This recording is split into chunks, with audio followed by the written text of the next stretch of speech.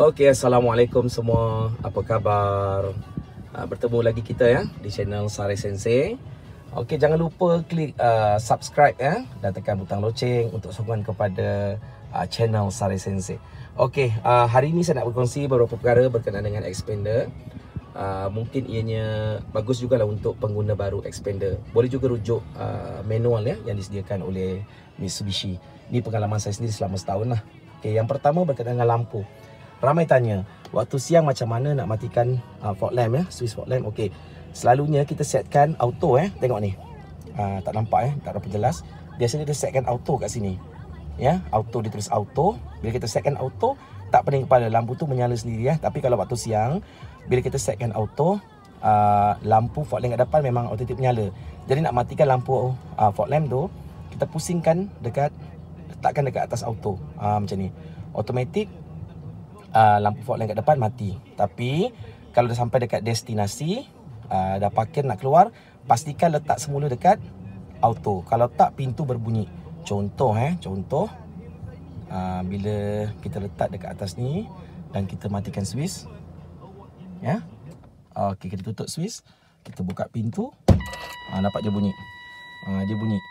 Uh, dia pun keluar simbol ya, turn off lights. Maksudnya kita tak setkan dekat tempat auto. Letak kat auto balik. Automatik uh, dia senyap ya. Okey, tu contoh yang pertama. Okey. Okey, uh, yang kedua kalau waktu malam, kalau waktu malam, okey, kalau kita setkan dekat auto, uh, ni kat auto eh. Kalau kita setkan dekat auto, kalau waktu siang uh, fog lamp dia menyala kan. Kalau waktu malam terbalik pula. Uh, dia punya fog lamp dia tak menyala. Betul tak betul tengok eh kalau waktu malam kita setkan switch tu dekat auto. Ha, tengok. Fog lamp ni tak menyala eh? Tak menyala. Tapi headlamp dia macam biasalah. Dia menyala dengan lampu. DRL kiri kanan ni menyala. Okay, so macam mana nak menyalakan fog lamp pada waktu malam? Senang sahaja. Oh kejap sekejap. Lampu di bahagian belakang juga tak menyala. Lampu ni eh? Ada macam fog lamp juga tapi ini lebih kita gunakan bila waktu kabus atau waktu hujan lebat ya supaya orang belakang lebih berhati-hatilah dengan jarak kenderaan bersama kita. Ha, nampak tu ya. Tapi ni jangan sebarang guna ya. Biasanya saya gunakan bila waktu hujan sangat lebat atau kabus tebal supaya orang belakang berhati-hatilah jarakkan dengan kita. Nampak lebih jelas lah. Ya. Okey, so macam mana nak nyalakan? Okey. Seperti yang saya kata, kalau waktu malam kita letak dekat auto, lampu fog lamp tak nyala. So macam mana nak bagi menyala? Nampak ni. Kita tolak ke atas sekali eh. Nampak ni kat sini. Ha, ni simbol lampu DRL. Depan nyala lah, kiri kanan semua kan. Okey, macam mana nak onkan lampu fog lamp ni? Ha, switch ni. Ha, yang ni eh. Tolak ke atas tu on nampak sekali tolak sekali ke atas. Ha, tolak sekali. Ha, nampak tu. Dia menyala. Ya, yeah? dia menyala. Tengok betul tak betul? Tengok.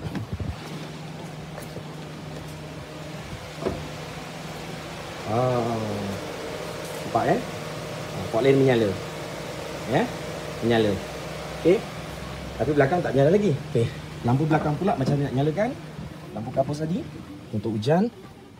Okey, kita naikkan. Tadi dah naikkan sekali kan? Ah, tolak sekali lagi. Ah, nampak? Dia naik. Ni fog lamp depan, ni belakang. Ah, dia menunjukkan dia menyala. Betul tak betul? Kita check. Okey. Ha, kan betul? Hidup, eh? Ha, tu. Nampak? Hidup, eh? Digunakan masa ni lah. Hujan lebat, kabur sebalik, eh? Untuk keselamatan. Okay, macam mana nak tutup? Okay, nak tutup dia senang, ya? Tadi kalau kita tolak ke atas, nak tutup lampu yang belakang ni, yang ni, yang ni saya tunjukkan nampak jari saya. Okay, kita tolak ke belakang sekali. Tolak ke bawah sekali. Ha, nampak? Tolak ke bawah, eh? Okay, tolak ke bawah. Tengok.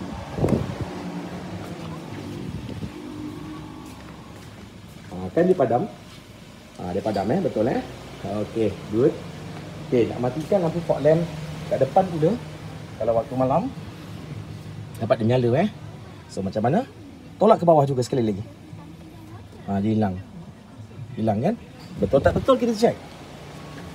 Ha, kereta kita, kita godek-godek je eh.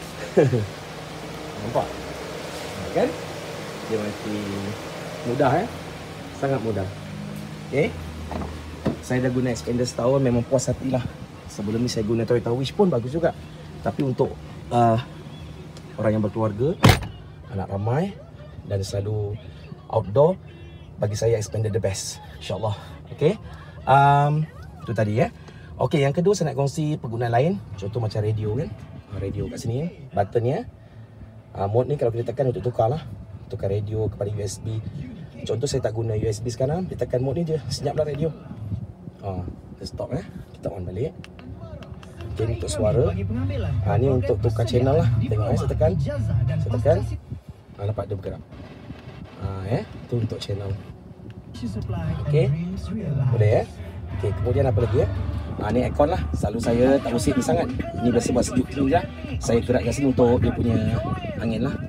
Ha, ya, untuk angin dia. Dan biasa biasanya kalau saya onkan aircon dekat air blower eh, dekat air circulator kat belakang pun saya onkan. Sebab tapi saya uh, onkan tak kuat sangat lah sebab ada rakan expander kata kalau pasang aircon kat depan saja belakang tak buka nanti lama-lama aircon kita akan macam keluar bau eh. Tak sedap. Satu lagi untuk pengedaran uh, dia punya angin dengan uh, dia punya tu apa sujud tu jadi lebih smooth lah. Jadi pasang dua-dua lah. Belakang-belakang pasang sikit jangan tak onkan langsung eh. Okey, ha, ni simbol je lah. Aircon Ya, yeah, ini pengudaraan dalam kereta saja. Maknanya udara luar tak masuk. Kalau ada macam kita lalu kawasan berbau Macam kilang getah ke apa Bau daripada luar tu tak masuk lah Tapi kalau kita offkan ni uh, Udara dari luar, eh, bau daripada luar boleh masuk. Okey. Kemudian gear. Ha, Dekat gear ni Dekat sini ada button Dia tulis OD Overdrive. Eh. Masa bila nak guna? Masa bila nak guna? Sebagai contoh eh. Okay, Saya tekan brake. Okey, contoh eh saya tekan eh. Okey D, contoh D eh. Okey, D drive memandu. Katakanlah saya nak memotong eh. Katakan saya nak memotong uh, memotong kereta, saya akan tekan sekali. Ha, tekan OD sekali. Dekat sini akan keluar OD off. Maknanya dah bersedia untuk uh, kelajuan. Dia akan automatik macam jadi gear 2 lah. Jadi kita boleh memotong eh dengan laju sikit. Dah selesai potong ke apa, kenderaan atau naik bukit, saya biasa offkan balik. Ha, dia hilang balik. Okey. Itu satu cara lah. Okey. Kemudian uh, cara kita nak tarik dia ni pula kalau boleh kita gerakkan sambil kita gerakkan ke bawah tekan untuk yang atas ni ya. Yang atas ni tekan sekali uh, gerakkan. Okey. Uh, ya. Okey, satu. Kalau kita berada dekat uh, traffic light kalau boleh elakkan letak pada parking ya. Contoh kita tengah drive sekarang ni.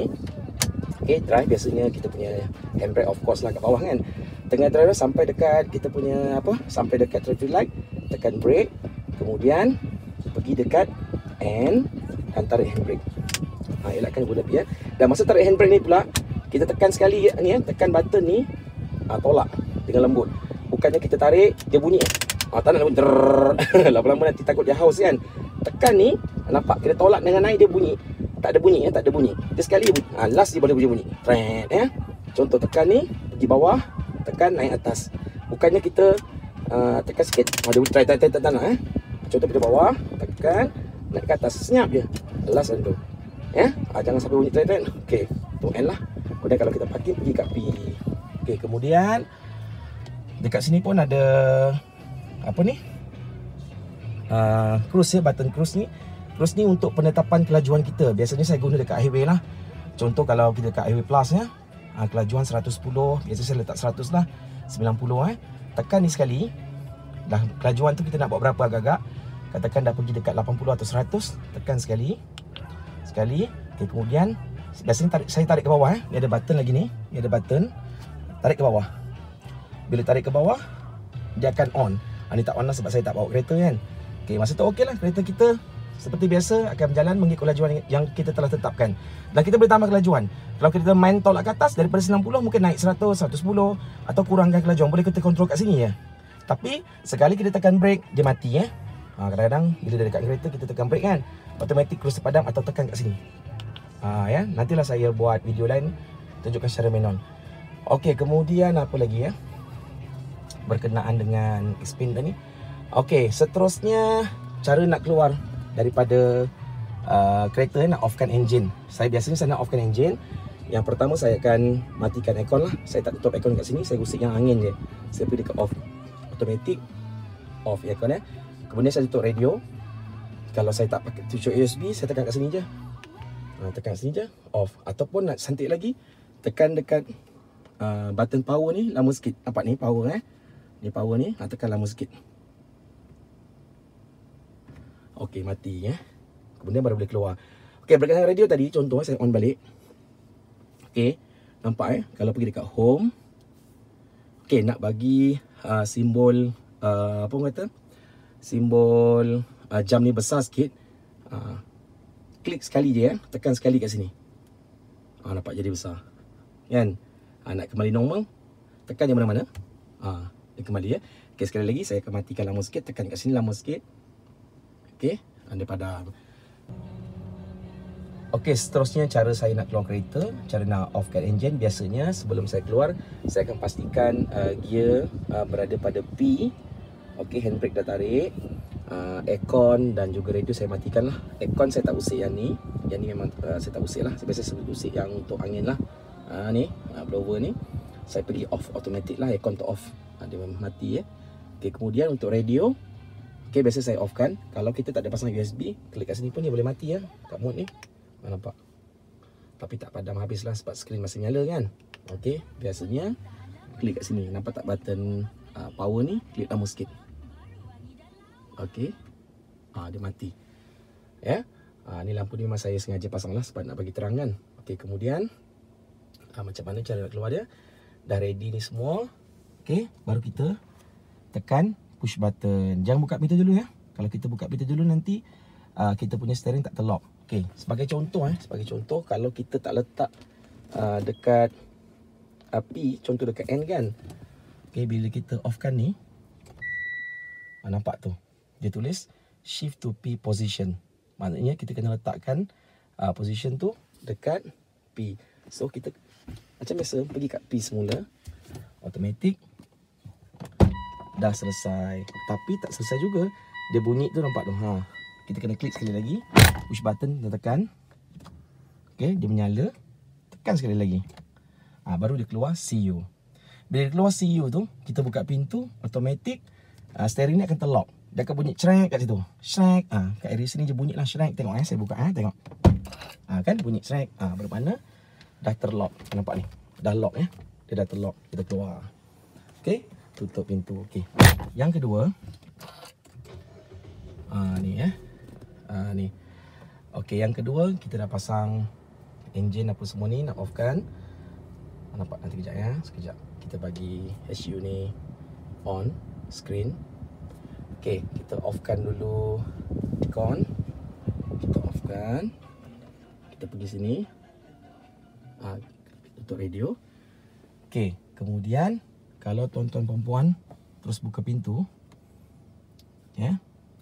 uh, okey contoh-contoh eh kita off kat sini semua dah ready kan kita off kan okey kita buka pintu ada shrek kan dah terlock kan okey katakanlah kita bawa kunci eh kita bawa kunci ni kita bawa kunci kita keluar okey kita keluar kita tutup okey tekan tak boleh. Kenapa dia berbunyi ya? Ah, kenapa dia berbunyi? Padahal semua pintu dah rapat ni. Ni semua pintu dah rapat. Kenapa dia berbunyi? Ah, kemungkinan besar ada kunci kat dalam. Tengok tengok arahan dekat skrin dia kata apa? Ah, tengok dia kata apa? Tengok eh. Tengok bila kita klik kat sini. Sekejap eh. Ah. Okey. Maknanya kat situ kejap eh. Tengok bila kita klik, ah dia tulis ah Okay Key still in vehicle Maksudnya uh, Ada kunci dalam kereta kita uh, Mungkin ada kunci pendua Contoh eh Nampak ni Rupanya ada kunci lain Ada kunci pendua dalam kereta Bila ada kunci pendua kita tinggalkan So tak boleh kunci lah So kita bawa dua-dua Keluarkan Tengok eh Boleh tak Okay uh, Baru boleh kunci Itu cara pertama lah Maksudnya kunci pendua ni jangan tinggalkan. Tapi kalau kita tinggalkan juga, contoh kadang-kadang masa keluar isteri saya bawa juga kunci kan. Okey. Contoh eh. Sekejap. Okey. Dekat sini memang tak ada kunci ya. Ha, dia bunyi sebab ada kunci kat dalam. Okey. Tapi kalau kita tekan yang ni, tekan kat sini je boleh. Ha, dia terkunci juga. Ha, dia terkunci juga. Maknanya kalau ada kunci kat dalam, tekan ni memang tak boleh. ya. Ha, untuk untuk untuk tutup lah. Macam itu. Ha, memang tak boleh. Memang tak boleh sebab dia kunci pendua kan. Ha, tapi kalau kita guna yang ni, guna remote kat sini boleh. Ha, eh. Nampak eh? Boleh eh? Okey, tu cara yang pertama lah. Ha, buka boleh, tutup tak boleh. Okay, cara kedua, katakanlah kita on engine. Kita on engine. Okey, sekejap eh. Kita on engine. Kejap saya tutup dulu semua ni.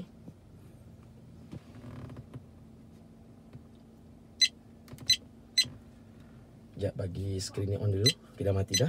Katakanlah kita keluar eh. Kita keluar. Uh, tekan nyala ni kita keluar kejap. Mungkin nak beli air ke, beli surat khabar ke. Anak-anak kita kan. Kita bawa kunci semua. Kita bawa kunci semua. Okay. Uh, dia bunyi. Uh, dia bunyi nampak. Uh, dia bunyi sebab tak ada kunci dalam kereta. Okay. Dia tulis gitu. Dia keluar kat skrin tu. Uh, key not detect. Key not detect. Maknanya kalau kita keluar sebentar, kita beli air ke, kita pergi tandas ke dalam keadaan uh, ada ahli keluarga dalam kereta ke apa, jangan buat kunci eh. Uh, takut dia mati nanti. Uh, sebab dia terus key not detect. Nampak eh? Uh, itu cara dia lah. Beberapa perkara berkenaan dengan expander. Yang lain okey, puas hati. Saya dah guna setahun. Seronok. Puas hati. Uh, antaranya ialah bila kita bawa, contoh pasang aircon. Saya on balik uh, seronok eh suspension dia very nice best handling kalau kita line cornering uh, tak membuai eh. Tak membuai. Uh, jadi sesuai. Satu lagi kalau orang yang badan besar macam saya ni kira sedap lah bawa kereta ni. Okey? Uh, ruang kabin dalam ni pun agak luas. Saya paling suka dia punya uh, system sound ya. Sound system dia memang sedap. Macam kalau kita tengok movie macam tengok movie dekat cinema. Eh? Uh, saya tak ada contoh ni. Contoh eh. Kita dengar radio ni Jangan buat main-main lah. Kasar wuduk nanti. Mak, Sa kan ah, pakai Nuraisa. Nuraisa ni kan oh, kosmetik okay. mesra wuduk. Senang nak bersihkan Pernah saya tengok movie cerita apa Avatar ke apa kan. Memang dia punya dentuman apa memang sedap. Piung, piung, piung. memang sedap lah. Dan sedia eh. Puas hati lah, puas hati. Okay, kemudian masalah orang kata pintu kena kuat sikit. Memang pintu kena kuat sikit lah. Uh, dia sebab jadi melekat kuat kan. Mungkin sebab antara dia kedap. Agak kedap bunyi lah. Yang orang kata bunyi hujan dekat bumbung apa semua tu memang ada bunyi sikit lah. Tapi bagi saya tak ada masalah besar. Bagi saya kesedapan Pembawa dia jauh lebih bermakna lah. Okay? Sebab sebelum ni saya guna Wish selama 12 tahun. Bagus juga Wish Banyak berjasa dengan kami. Tapi dari segi uh, keselesaan keluarga Anak ramai sebagainya Bagi saya Mitsubishi ni lebih Mitsubishi Expander lebih bagus lah untuk kami sekeluarga lah. Ya, dia ikut pada keperluan kita. Okay Walaupun 1.5 kira Padu jugalah ya Naik ke tanah tinggi kami pergi genting highland. Uh, kami highland banyak kali ya kira okey lah so far. Okey minyak pun jimat minyak pun jimat aircon pun padu paling seronok belakang eh. Aircon sejuk. Anak saya masuk tak lama tu boleh tertidur. Kan? Uh, kira okey lah. Jadi kita yang kat depan pun rasa selesa yang kat belakang pun selesa. Selamat insyaAllah eh. Tapi memang puas hati lah. Agak memang luas jadi itu sajalah review saya uh, untuk ni. Dan mana yang saya terangkan tadi semoga membantu uh, kepada pengguna baru eh. Ingat eh. So sekali lagi uh, waktu siang pergi ke auto. Tapi nak padam kita punya fog lamp pergi dekat atas ni naikkan dekat atas auto ni sekali. Ya kalau waktu malam pergi dekat auto juga tapi nak uh, hidupkan kita punya fog lamp naikkan ni sekali ya. Nampak dia menyala. Nak tutup ke bawahkan okey? Nak pasang fog lamp kat belakang untuk kabus dengan hujan uh, naikkan sekali untuk fog lamp naikkan sekali lagi. Ha, dia menyala dua-dua eh. Nak padam turun ke bawah dua-dua ha, selesai itu saja. Mudah. Kereta ni tak adalah serabut sangat dengan elektronik eh? Ha, sepada manual. Bagi saya okey lah. Kan? Insyaallah. Yang penting berhati-hati memandu pakai tali keder eh? Ha, untuk keselamatan ya? Jangan tak pakai tali pinggang. Pakai tali keder uh, untuk keselamatan. Okey itu saja. Ha, jangan lupa subscribe dengan klik uh, button loceng Sarai Sensei Channel. Okey assalamualaikum. Salam sejahtera Okey, lepas keluar kereta, kita kunci kan. Biasanya saya akan tekan kat sini lah. Dekat pintu ni. Ha, tekan sekali eh. Maka terkunci. Okey. Ataupun guna button ni lah. Guna dekat uh, remote ni. Guna dekat remote ni. Okey, kita klik sekali. Ha, dia terkunci lah. Okey, kadang-kadang ada kawan komplain ya. Tak lama tu kereta kadang berbunyi apa semuanya. Ha, kena check lah. Mungkin uh, cara kita keluar kereta dengan uh, gear tu mungkin uh, tak berada pada P ataupun Taiko step yang saya ajarkan tadi Seringkan lock dan sebagainya Atau pintu ada yang tak rapat Kalau pintu ada yang tak rapat pun Mungkin dia akan berbunyi lah Atau Okey, ataupun kalau semua dah okey, Daiko step yang betul, tapi berbunyi juga, mungkin ada yang sensitif lah. Jadi cadangan je, uh, tekan dua kali masa kunci dekat uh, remote ya, tekan dua kali. Uh, ada yang cadangkan tekan dua kali. Uh, InsyaAllah dia akan kurangkan kadar sensitif pada kereta lah dan tak berbunyi. Lagi kalau waktu hujan kita letak parking dekat luar kan, atau pergi masjid semayang Jumaat kan, kadang hujan lebatnya bunyi banyak kali kan. Okay, tapi saya tak pernah buat dua kali lah, saya buat sekali okey lah. Setakat ni lah.